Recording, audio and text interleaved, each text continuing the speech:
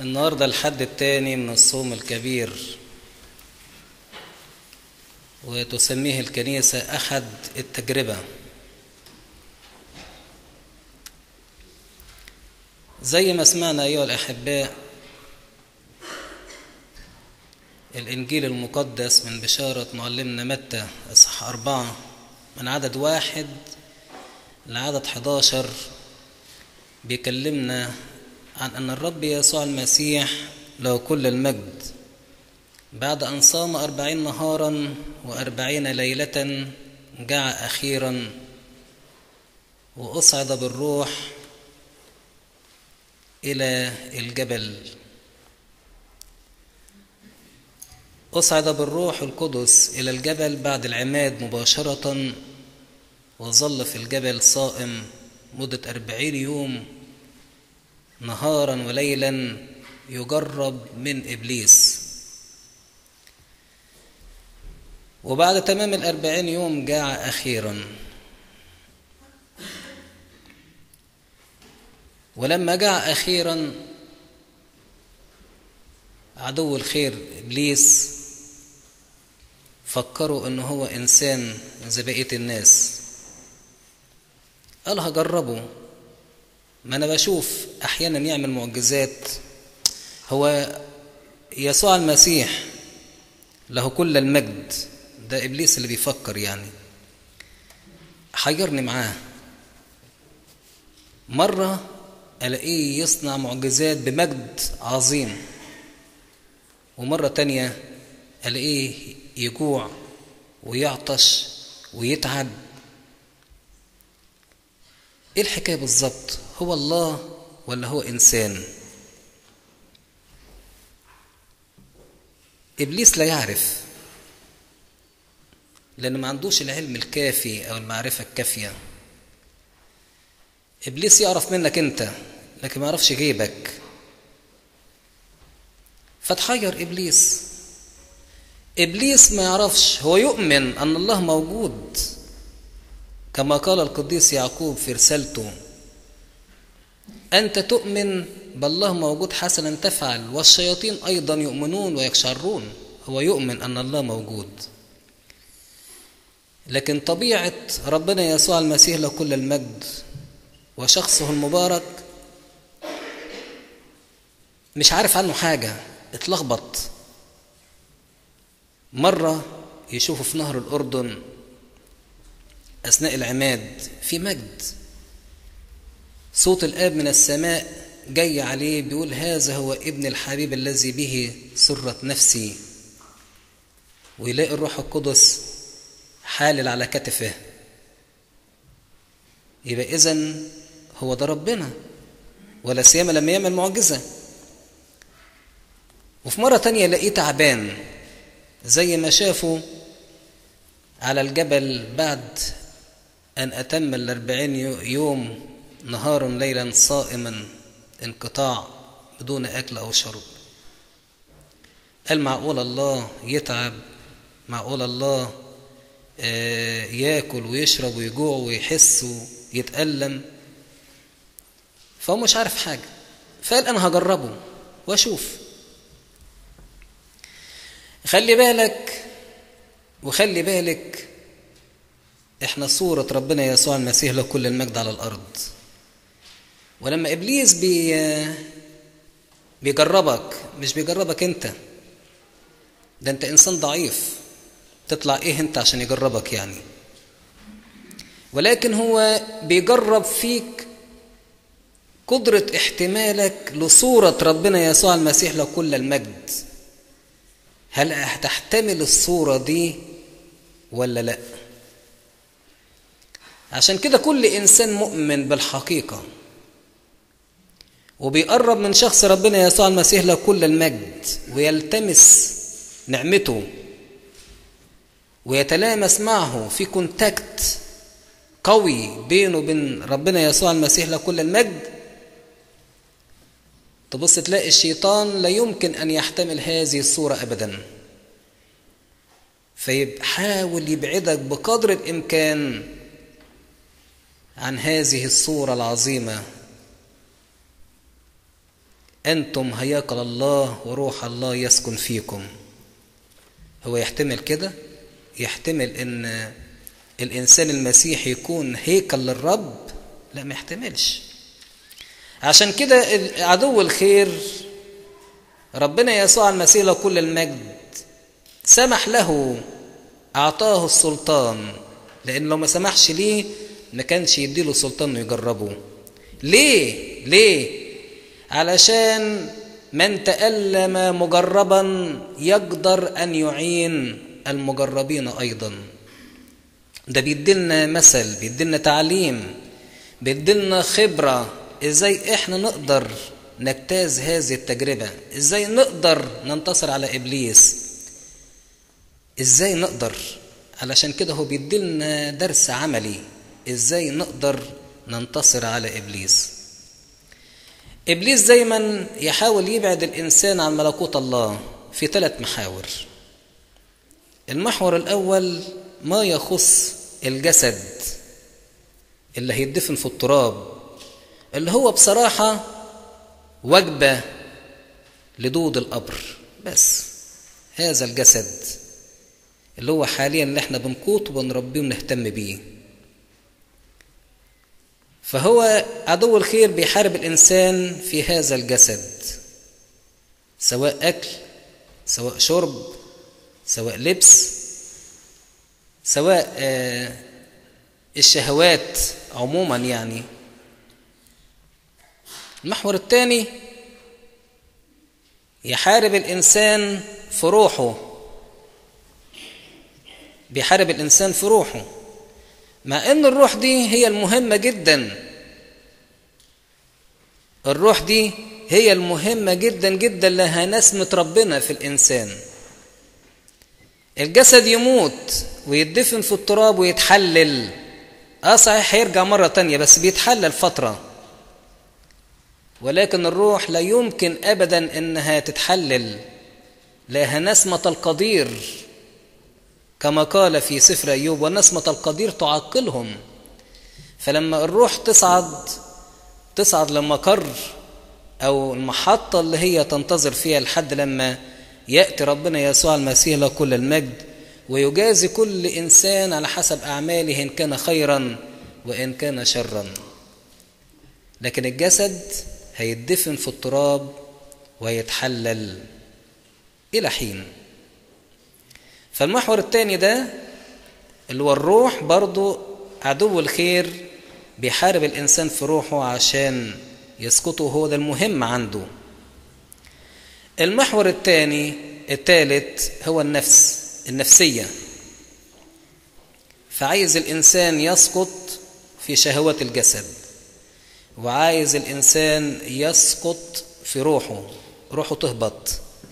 وعايز كمان إنسان نفسيته تتعاظم فيسقط في خطية الكبرياء وينتهي أمره. قبل الكسر الكبرياء وقبل السقوط تشامخ الروح. بسرعة أيها الأحباء نتكلم عن الثلاث محاور دول. ما يشغل العالم الآن هو الجسد. تلاقوا أي إنسان في أي مجتمع في الشارع في البيت في محطة الأوبان في الأوبان في الشغل حتى الإنسان وهو قاعد مع نفسه يفكر في إزاي يجيب الفلوس علشان إزاي ياكل كويس ويشرب كويس وينام كويس ويعيش كويس هو ده غلط؟ لا مش غلط بس لما يكون الإنسان هدفه فقط إنه يعيش كويس في هذا العالم إنه يعيش مرتاح يعيش مبسوط يدي لنفسه كل ما تشتهي النفس فقط خسارة كبيرة جدا. هو الشيطان عايز كده. عايزك تسقط من روحك. كل ما الإنسان يفكر في الجسد اللي هيدود ده الروح تسقط معاه. إيه ده جايب منين الكلام ده يا فلان؟ نعم أنا مش جايبه من عندي. لكن القديس بولس الرسول بيقول لنا الجسد يشتهي ضد الروح. طبعا الجسد يشتهي ضد الروح. الجسد جاي من تراب الأرض فبيشتهي كل ما أتى من الأرض. حتى الإنسان ما هو بيشتهي الإنسان. مش بيشتهي الإنسان بيشتهي الإنسان الإنسان أيضا جاء من الأرض. كل ما هو أتى من الأرض يشتهيه الجسد. طب والروح؟ لأن الروح جاية من السماء فبتشتهي كل ما هو في السماء. تسبيح ترنيم أغاني روحية صوم طاهر نقي حضور قداس جميل. يصلي كده متمتع بالصلاة. الروح عايزة كده لأنها جاية من فوق. فبيحصل في حرب دائرة والشيطان هو اللي بيقود هذه الحرب. الشيطان خبيث عايز يخلي الإنسان ينقسم على نفسه. يعمل إيه؟ يخلي الجسد يبقى ضد الروح والروح ضد الجسد وتقوم حرب. الإنسان بقى اللي عقله في راسه يعمل إيه؟ العقل اللي في الراس ده اللي منقاد بالروح القدس يعمل إيه؟ يروح خاضع الروح ولا خاضع الجسد يخضع الجسد لإرادة الروح فينهزم إبليس على طول. الكلام ده بقوله للناس اللي تقول لك أنا مش بقدر أصوم انقطاعي. أنا مش بقدر أصوم الصوم الكبير إلا لما أشرب فنجان قهوة الصبح وأحط عليه نقطة اللبن. أنا مش بقدر أصوم الصيام من أوله. أيها الأحباء مفيش حاجة اسمها ما أقدرش. أستطيع كل شيء في المسيح الذي يقويني. التفت إلى جسدك اهتم بيه بالترويض. روضه. مش تسمع كلامه. يقول لك أنا مصدع النهاردة عشان ما شربتش فنجان القهوة الصبح. وأنت صايم. ممكن ما تتناولش بسبب فنجان القهوة. ولا السيجارة. ولا أنت متعود تفطر الساعة كذا. ممكن. في وسائط روحية كتير قوي أنت بتحرم نفسك منها من أجل إن أنت مش قادر. تقدر. بنعمة ربنا يسوع المسيح له كل المجد. ما تخليش إبليس يقف يسيطر عليك في موضوع صيامك. بالعكس انت ابتدي وتعال على نفسك من أول يوم في الصيام مش أنا أفوت أسبوع أفوت أسبوعين. طب أشوف أب اعترافي أب اعترافي بيتسهل معايا شوية. ماشي ما هو أب اعترافك هيقول لك إيه؟ ما هو حنين عليك برضه. بس لازم أنت يكون عندك القوة بالمسيح يسوع. تقدر تسيطر على ذاتك على شهواتك. لأن الصيام هي كلمة سوريانية الأصل معناها صيانة صيانة للإنسان. فعدو الخير عايز يدمر الإنسان أول حاجة من ناحية إنه يشعل الحرب بين الروح والجسد وهو يقود الحرب. الإنسان اللي, اللي له علاقة بالروح القدس وبربنا تبص تلاقي إنه عقله عقله هو اللي بيقود الدفة. إذا كان بقى متأصل بأقوال ربنا يسوع المسيح له كل المجد وتعاليمه المقدسة ووصاياه الإلهية على طول الجسد يخضع للروح والروح تصعد تنتصر. ده أول حاجة. الحاجة التانية بالنسبة لما الشيطان خد ربنا يسوع المسيح له كل المجد. على أعلى قمة في على جناح الهيكل. وقال له ده يعني أنت لو ابن الله بالحقيقة ارمي نفسك من فوق. وهو مكتوب إنه يرسل ملائكته لئلا تصدم بحجر رجلك. طبعا هو خد المزمور بتاع داود النبي بس حتى يعني حوره ما قالوش بالظبط. لأن في المزمور بيقول إيه؟ لئلا تسقط في طريقك. أو تصطدم حجرك في المسير. تتعرقل خطواتك. هو قال لا تصدم حجر رجلك. أوكي مفيش مشكلة. هنتجوز عن الحتة دي. ولكن هو بيقول له ارمي نفسك. أحيانا ودي بقى يمكن الحرب اللي عدو الخير بيسرها على رجال الإكليروس. لما يبقى في الخدمة ويشعروا أنه ليهم سلطة روحية وأنهم بيصلوا كتير و يعني دايما في الكنيسة ودايما بيتلامسوا مع الذبيحة الإلهية. ممكن عدو الخير يدخل في فكر واحد يقول له إيه؟ ده أنت ممكن تعمل معجزات. ده أنت يعني الصلوات اللي أنت بتصليها دي والجهاد الحلو قوي اللي أنت بتعمله ده ده أنت ممكن تعمل معجزات. لدرجة أنت ما يهمكش ان أنت لو قدام عربية والعربية عدت عليك مش هيجرى لك حاجة. ممكن. الفكر ده يوصل لرجال الإكليروس. الضعيف هيسمع الكلام وواحد يجي كده قدامه مهتز نفسيا شوية. ويبقى يعني مفكر إن عليه روح نجس ويقف قدامه يقول له بقى صلي له بقى والروح القدس يخرج.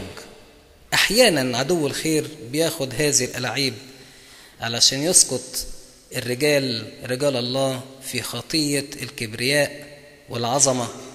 وإن أنا أقدر أعمل معجزات لا مش مش أنت اللي تقدر. مش بنفسك انت اللي تقدر. ده حتى لو كنت انت بتصلي كل الصلوات وكل القداسات وبتصوم كل الصيامات وبتقرأ الكتاب المقدس كل يوم كل الكتاب المقدس كل يوم برضو في موضوع المعجزات ربنا مش بيديها للناس الأبرار. ده ممكن إخراج الشياطين دي موهبة خاصة. ربنا يديها لواحد ملوش علاقة أبدا. بالروحيات أو واحد كده بسيط وخلاص. واحد لا متعلم ولا مثقف كنسيا ولا أي حاجة ربنا يديله الموهبة دي. ما يديهاش لواحد من رجال الإكليروس. نخلي بالنا أيها الأحباء أن عدو الخير بيبص هو ناصح قوي. ممكن يسقط الإنسان إزاي؟ كل واحد على قد مستواه. أما ال ال التجربة الثالثة لما خدوا على جناح الهيكل أيضا وأراه كل ممالك العالم. وقال له أنا هديها لك بس في حالة واحدة بس لو سجدت ليا. هل ممكن إنسان مسيحي يعمل كده؟ فيه الإنسان المسيح الحقيقي اللي فيه ربنا يسوع المسيح اللي لابس الرب يسوع المسيح له كل المجد مش ممكن أبدا ينظر إلى مباهج العالم إطلاقا. ولكن الإنسان الضعيف أو الإنسان المسيحي اسميا. من أجل وظيفة ومن أجل منصب. يسجد للشيطان ويسجد للناس علشان ياخد هذا المنصب. طب وبعدين في النهاية إيه؟ هيموت. ولا يستفيد بمنصب ولا يستفيد بجاه ولا بنفوذ ولا أي حاجة خالص بل بالعكس يجي قدام كرسي المسيح الديان العادل ويبقى مجزي خسارة. قد إيه الواحد فخور إن أولاد كنيستنا الأقوياء عظام في الإيمان. في أولادنا كتير قوي اوعى حد يتخيل إن عشان إنسان ما بيجيش الكنيسة خلاص يبقى ده سلم نفسه للشيطان؟ لا. في ناس أحيانا إحنا ننتقدهم. ده في ناس ما بتروحش الكنيسة كتير. في ناس كويسين. دورك إن أنت تجيبهم الكنيسة لكن في منهم ناس هيبقوا أبرار ومنهم ناس هتبقى قديسين بس دورك أنت تجيبهم. ما تنتقدش. لما بشوف موضوع شهداء ليبيا وقريت عنهم كتير كان ناس يعني عاديين. الناس تنظر إليهم إن هم عاديين ناس عاديين جدا. ده نقاش وده بلا بيبلط وده بيبيض وده كهربائي وده مش عارف إيه. ناس عاديين جدا جدا. مش متبحرين في العلوم اللاهوتية. مش متبحرين في الأمور الكنسية. ناس روحانيين بسطاء. ولكن لما اتحطوا قدام التجربة الفظيعة الشنيعة دي 45 يوم. محبوسين مهددين مهانين متعذبين. اتعذبوا كتير جدا جدا. عدو الخير هيج عليهم الأشرار. إيه اللي حصل؟ إيه اللي حصل؟ إنهم ثبتوا في الإيمان. إنهم انتصروا على التجربة. حتى الدم نعم مجاهدين ضد الخطية حتى الدم. قدموا نفسهم ذبيحة حية مرضية أمام الله. قدموا دمائهم. قدموا أجسادهم ذبيحة حية. وانتصروا على عدو الخير. فخر. فخر الإنسان لما يكون عاقل قوي قوي ويبص حروب عدو الخير جاية عليه في الثلاث محاور دول وهو يركز كده ويفكر. طب تتخيل لو واحد منهم قدام السكينة كده ولا أنا عندي مراتي وعندي أولادي وأمي هيعملوا إيه من من من غيري؟ طب ما أنا أقول لهم كلمتين كده خلاص وانفد بجلدي. من أنكرني قدام الناس أنكره أمام أبي الذي في السماء. ومن اعترف بي قدام الناس أعترف به أيضا قدام أبي الذي في السماوات. فحسبوها صح. كده كده الإنسان هيموت. لا يموت في كرامة ويموت في مجد ويموت في الإيمان ويتمتع باكليل المجد وينتصر. أحسن ما يعيش خمس ست سنين عشر سنين وفي النهاية يروح النار الأبدية. هو إنه الأحسن. هو حد يكون خايف. هو حد يخاف من الاستشهاد. ده الاستشهاد ده روعة جدا. وأنا بصلي في القداس. في ناس ممتازين قوي قوي بيعزوني وأنا أقرأ ال ال الكلام بتاعهم. في ناس طلبوا إنهم ربنا يدي لهم اكليل الشهادة يسمح لهم باكليل الشهادة. قد إيه نفس الواحد فرحت؟ ياه ده أنت يا رب أولادك أقوياء أقوياء بيك. فاوعى حد فينا يكون خايف من الاستشهاد؟ بالعكس ده أنت خليك جامد وشديد في الإيمان وافرح. لا تهاب إنسان الإنسان المسيح الحقيقي لا يهاب وجه إنسان ولا يرتعب منه بل بالعكس لأنه قوي بربنا يسوع المسيح له كل المجد. فكل الناس الأشرار تصغر قدام عينه وهو شايف السماء فما يخافش وما يرتعبش. اجعل الانتصار حياتك وأوعى تضعف قدام تجارب عدو الخير لأنه يريد إسقاطنا. ولكن نحن بالمسيح يسوع الذي انتصر على تجربة الشيطان على الجبل قادرين بنعمته المخلصة. ان إحنا ننتصر على إبليس وأعوانه وننال المجد. هو ده هدفنا أن ننال المجد لنرى ربنا يسوع ونكون في حضرته. ربنا يسوع مسيح إلهنا الصالح يبارك حياتنا. لإلهنا كل مجد وكرام من آن أبد آمين.